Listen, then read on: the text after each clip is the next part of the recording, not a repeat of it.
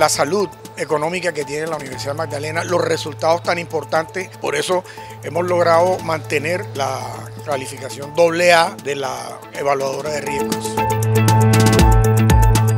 La transparencia, gestión y buena utilización de los recursos fueron los aspectos a destacar durante la segunda sesión del Consejo Superior de la Universidad del Magdalena, donde se presentó el informe financiero correspondiente al año 2022. Destacamos siempre que sea una universidad con una liquidez eh, bastante efectiva, sin endeudamiento significativo y que hace su mayor esfuerzo para trabajar con el presupuesto que sabemos es bastante reducido. A pesar de ser la universidad que está teniendo los últimos aportes eh, de los recursos de la nación.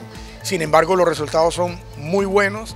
Los consejeros superiores además resaltaron los avances académicos reflejados en grandes obras como el edificio de bienestar universitario, el centro de alto rendimiento y el mantenimiento de las instalaciones. Y nuevamente recalcar la certificación AA frente a la financiación de la universidad. En la asamblea también se debatió sobre la Comisión Permanente de Políticas de Equidad de Género y Diversidad de Unimagdalena. Con esta comisión lo que se va es acompañar a las diferentes instancias directivas y administrativas de la universidad para que se cumplan las políticas de inclusión que tiene el alma mater. Que busca articular desde la investigación, funcionamiento, extensión y creación un nuevo camino basado en la equidad de género que cumpla con las políticas internas de inclusión.